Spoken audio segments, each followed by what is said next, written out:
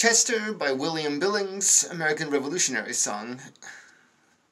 I would say one of my, probably my favorite. Anyways, here we go.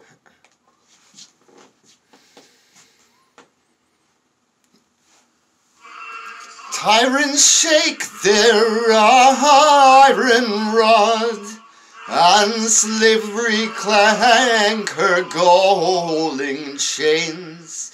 We fear them not, we trust in God, New England's God forever reigns.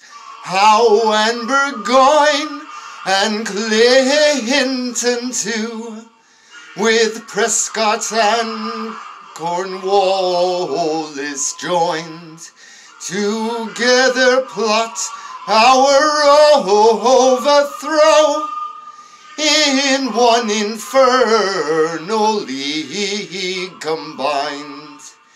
When God inspired us for the fight, their ranks were broke, their lines were forced, their ships were shattered in our sight are swiftly driven from our coast. The foe comes on with haughty stride. Our troops advance with martial noise. Their veterans flee before our youth and generals yield to beardless boys.